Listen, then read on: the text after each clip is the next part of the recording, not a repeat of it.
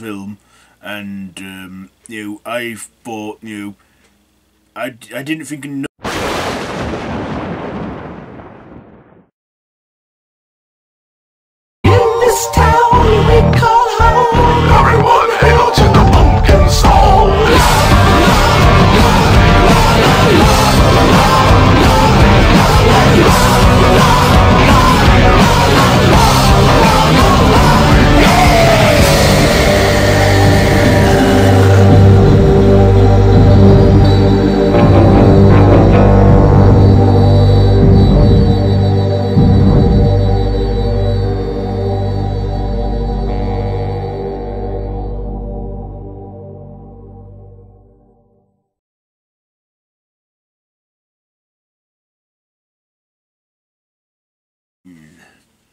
Oh, why, hello there, YouTube, and welcome to Halloween in January 5, or welcome back to Halloween in January 5. So, we are on day 10 now, so double figures, and for today I am reviewing the film The Devil's Rejects.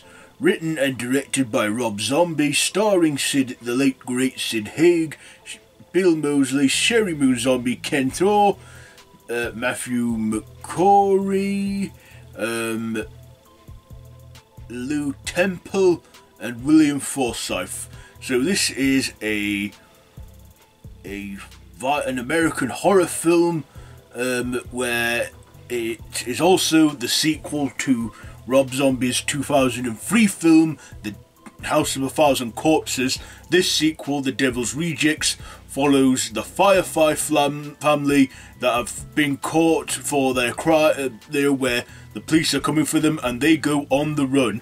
Captain Spaulding, Baby, and Otis, played by Sid Haig, Sheri Moon Zombie, and Bill Moseley, and they're on the run.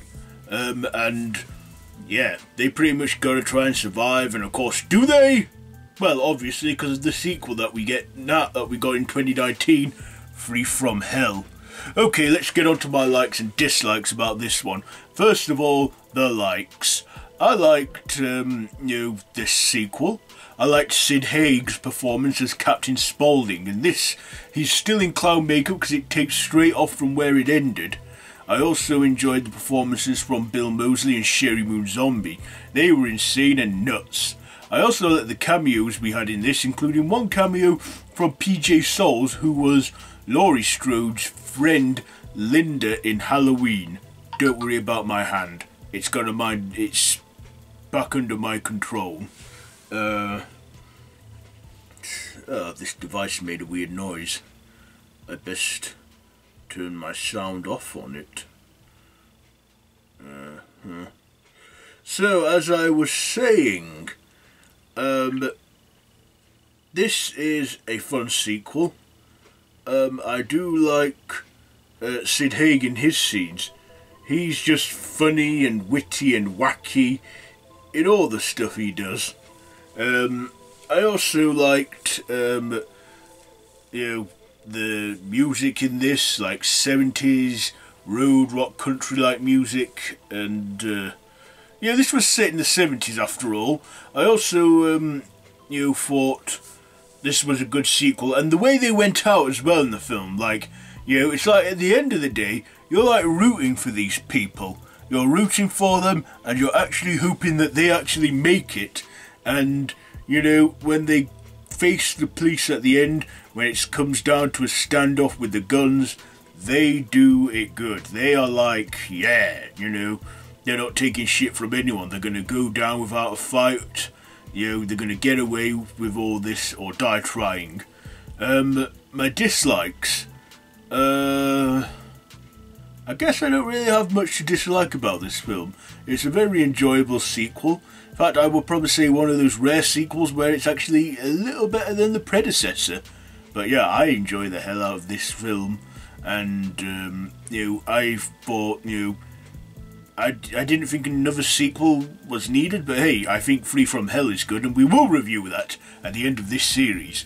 But um, yeah, for now, I'm reviewing The Devil's Rejects. So, The Devil's Rejects was a fun film, fun sequel. So, with all that being said, I'm going to give The Devil's Rejects, I'll give it five scalpels out of five.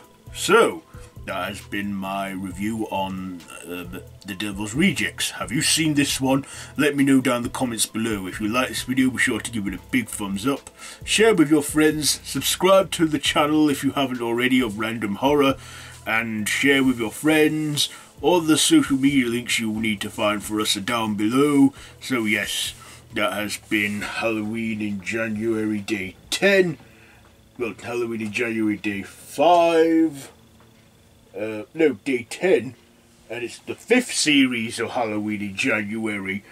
So, yes, that's it for this week. So, I'll be back Monday, but until then, you have my master, Dr. Fripp, to keep you company.